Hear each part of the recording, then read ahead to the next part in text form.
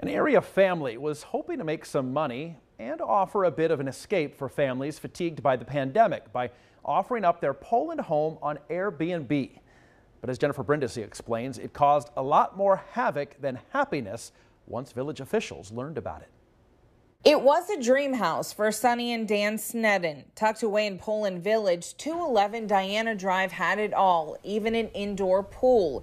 But until they could move, they thought, why not rent it out on Airbnb? Right now, we have two homes um, and we're transitioning. So we just thought this was a great idea. Why not let people use it in this time when there's just nothing else to do. Like But neighbors raised concerns, worried about large gatherings, even parking.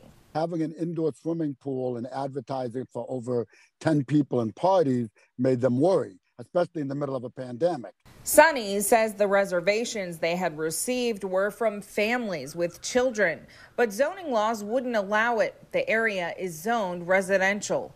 That's why we have residential neighborhoods if you if they wanted to do this, hey, we have a vacant bed and breakfast that would love to have the Sneddens buy it. Village officials recently set a one year moratorium regarding short term rental of village homes. Meantime, the Sneddens said they never intended to upset anyone. We didn't expect this amount of attention, the amount of popularity, or the amount of negativity at all. Do you think down the road it'd be something that you all would allow? In the village? Sure, if- properly in a properly zoned area, uh, and absolutely. With more local news, I'm Jennifer Brindisi.